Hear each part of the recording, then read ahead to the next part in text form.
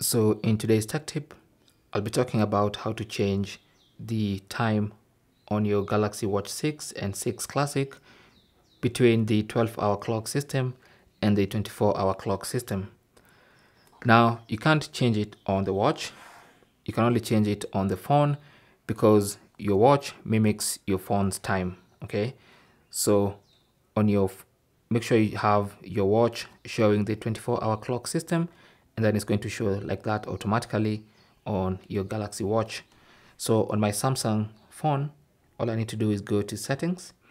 On the main settings page, I'll go to general management, tap on that, and then I'll look for date and time, and then I'll choose use 24 hour format. And that's why you can see my watch is showing the 24 hour format. If I disable it here, it's also going to disable on my watch there you go. Okay? And as long as this is enabled the 24 hour clock system is enabled it's also going to reflect on the watch in a couple of seconds. There you go.